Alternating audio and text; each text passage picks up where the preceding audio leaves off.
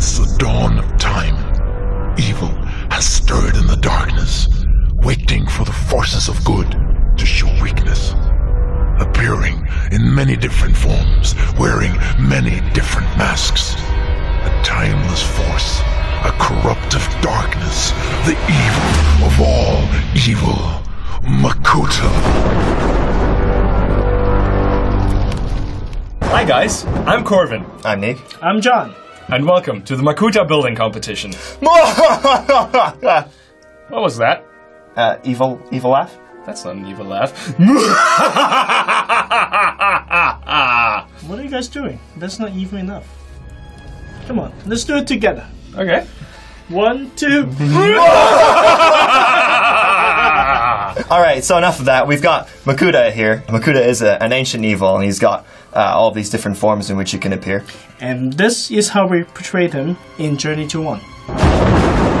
Even if that means the Toa will never know their true power, and darkness will rule forever. When I built Makuta, I just wanted a huge brawler who could pummel Toa into the dust if he wanted to. It's like he's big, he's got the giant wrist blades, he's got the energy armor, he's got the uh, shadowy body types, and of course he's got like all the uh, golden extra bits. He's got blades on the back, so even if you sort of get him into a bear hug from behind, there's nothing you can do. He's going to win. He's going to pummel you into the dust. But it's not the only version we have. So a lot of these elements uh, from this awesome build with the, the great blades and the the, the, the color scheme, um, we kind of carried it over to the the final version that we used for the animation that we have here. He's a, nice. a giant uh, a giant shadow titan with these amazing weapons. He's got a spinning drill Oh, that's a cool trick. and uh, these extendable blades in his other arm. That will be extremely useful weapon. Yeah. Um, so the idea is that he's just this massive hulking brute.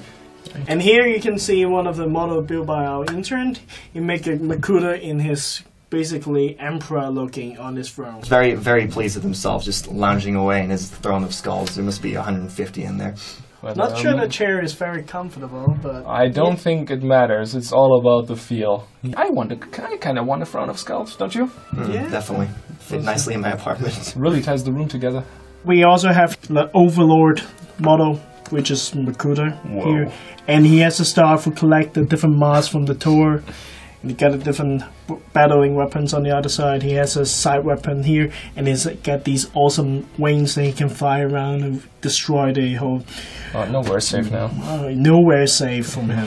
He's he's just like I have both my hands full, yet I still need to have this other blade you as well. an I extra just have it on my you side. never know when you Do you need want it. wings? Of course you want wings. You want wings every time. Yeah. Now I've seen all these awesome model. Now is the time for us to see yours.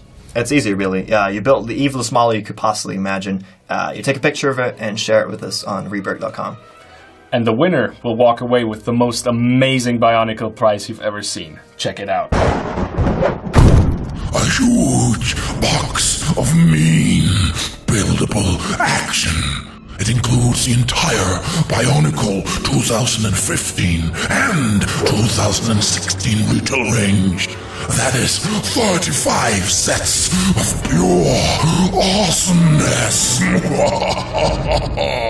So, in addition to this awesome prize, uh, the best of the best will also receive a limited edition exclusive signed Bionicle art book. Also, between all other participants, we're going to draw one lucky person who also gets the art book. So, there are really no excuses. Get building. You have until September 5th. And for more information, you can go to uh, Rebrick.com and you can see all the details up there. So good luck and happy building. We can't wait to see what you come up with. I dare you.